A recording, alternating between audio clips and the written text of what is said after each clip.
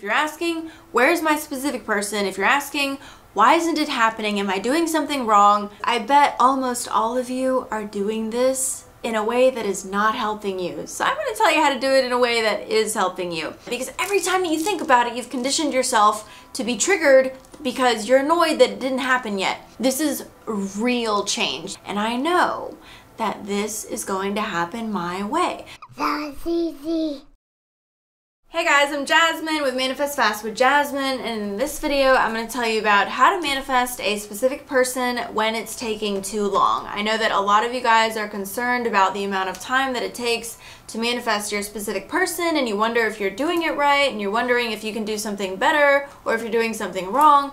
I'm going to give you guys three tips and potentially a bonus tip, so make sure that you stay tuned all the way till the end so that you get all of those awesome tips that I'm going to give you guys about this. And I swear to God, if you watched till the end, you will have a much better idea of exactly what to do to manifest your specific person no matter how long it's been. By the way, if you guys have been watching my videos and you like my videos, make sure that you click the subscribe button. Click that bell button right next to the subscribe button because if you click all, you'll receive all notifications instead of none. If you have questions after you watch this video, you can bring them to my live Q&A in my group. I have live Q&A and two Law of Attraction classes in that group per week. That link is below for you guys. I talked about this in some previous videos, but I'm going to talk about it a little bit again because I think this is a really, really good tool that can help just about anybody who wants to manifest anything. And that is something that I call the long game. The long game is basically living in the end. It's a technique that I use to live in the end, and I think this is going to help you guys live in the end and make it easier for you. We all know that you're supposed to live in the end, live in the wish fulfilled, and know that it's done. But almost nobody knows how to do that, and it seems to be really difficult to do, and at least difficult to maintain for most people.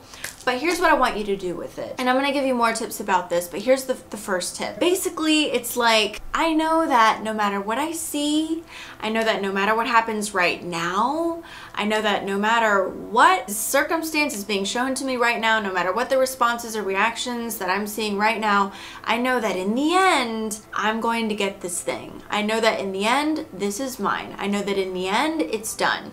And it's okay. No matter what wants to happen now, let it happen happen. Let it all fall apart, let it blow up, let it come back together. It doesn't matter because I'm playing the long game and I can see down the road and I know that this is going to happen my way. So if you're thinking like that, first of all, you're not necessarily expecting a pickup to occur, but if it does occur, it doesn't matter because you have this idea of long game. And when you think about long game, you're thinking about basically you're you're holding the image of the end and the vibration and thought of the end in your mind. You're thinking about it somewhere out there down the road, but you are thinking that that's where you're going and that's what it means to live in the end is to know where you're going and to hold that image and that thought in your mind when you think about the situation so I want you to play the long game. The second thing that I have for you guys, and this is gonna really help you guys because I bet almost all of you are doing this in a way that is not helping you. So I'm to tell you how to do it in a way that is helping you.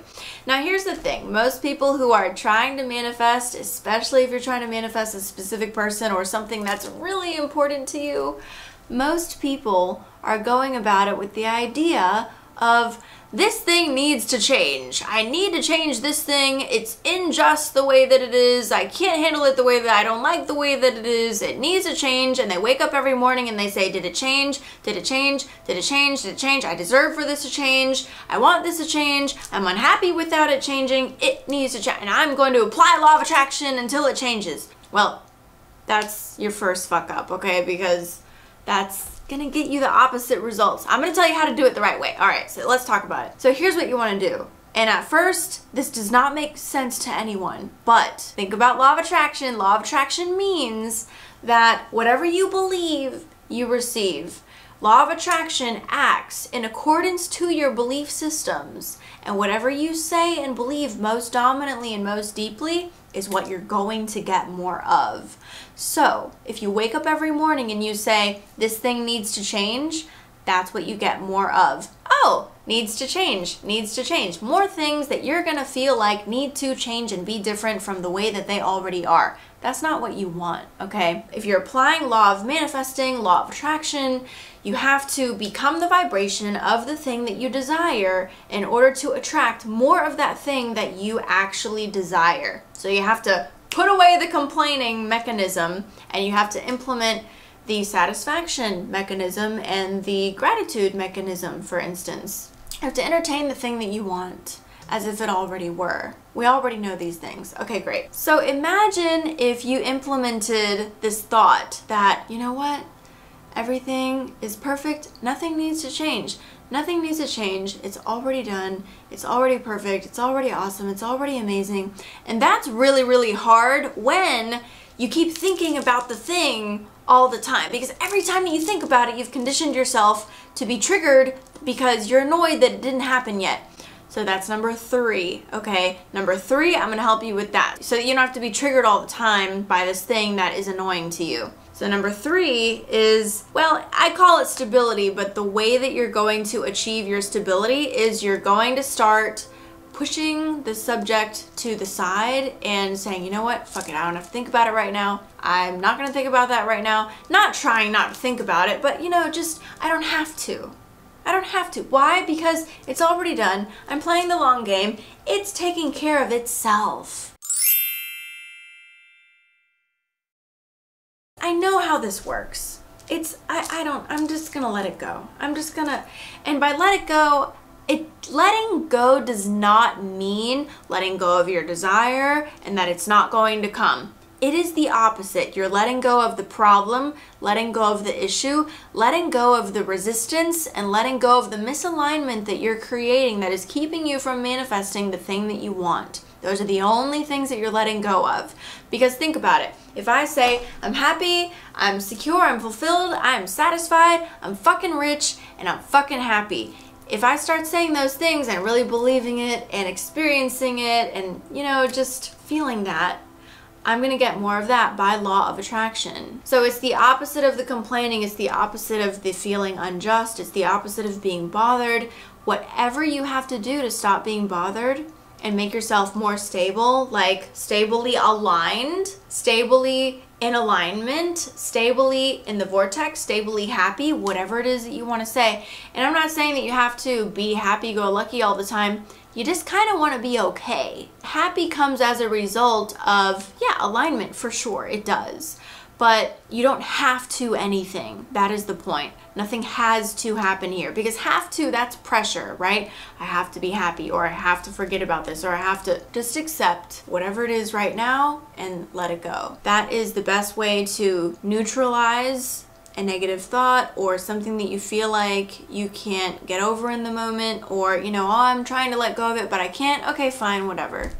You neutralize it by not caring about it and not keeping it going and not adding fuel to the fire with your upset, with your outrage, with your urgency and your desperation and your need to try to implement or make something happen. Do your best to drop the subject and not have to worry about it. This is going to help you with the whole nothing needs to change. It's fine. You want to start to condition yourself to experience life in that way. What would it be like if nothing really did need to change. What would it be like if I was enjoying my life as if it's already perfect, as if I already have everything that I want? When you start learning presence, the consciousness and being in the moment and awareness and all of those things, that's a lot of what manifesting and law of attraction is. Okay, law of manifesting, law of attraction.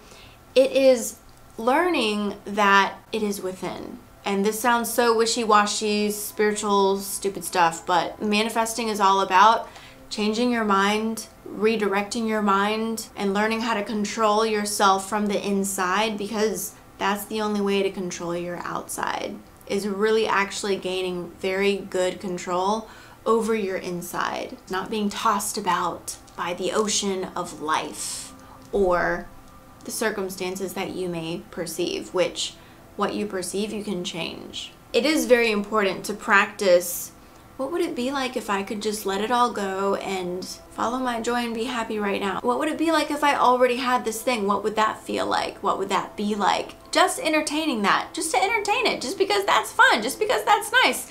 There's something good about being able to entertain the end just for fun, just because you like it, not because you're trying to bang something into place. Try to settle into that. Try to make that happen for yourself.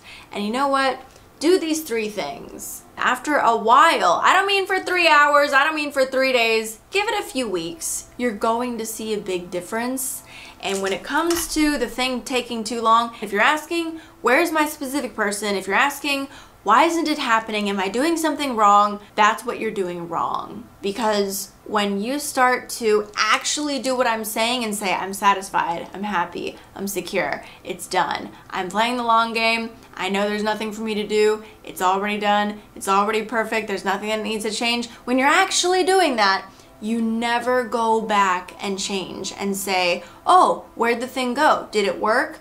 That's the evidence that you didn't actually truly change, that you didn't actually truly implement what I have said. You pretended and then you look back, and you pretend and then you look back. And that's a really big tip for you guys because a lot of people end up doing that. This is real change. You can't fool the universe. You can't fool the universe into thinking that you have a vibration or a thought that you're not actually having. So it has to be real change and you have to start to actually enjoy yourself. But you know what?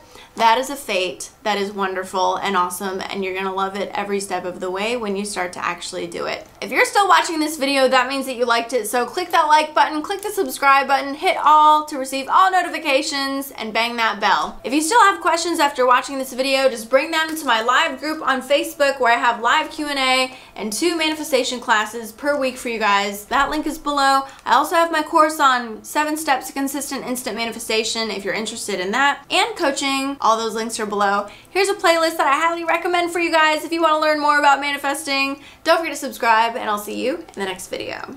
That was easy.